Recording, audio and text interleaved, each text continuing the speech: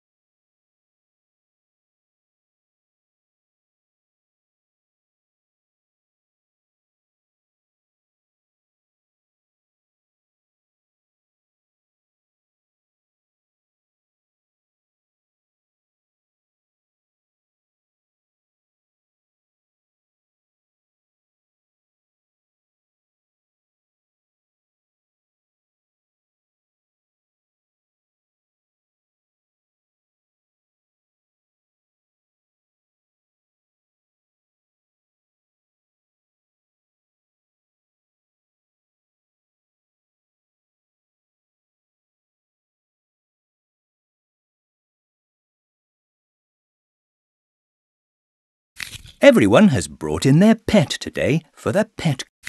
Dr. Hamster is the judge and she watches Goldie swim in her bowl. Goldie is a wonderful fish. Goldie gets a ribbon. She sees a monkey lying upside down.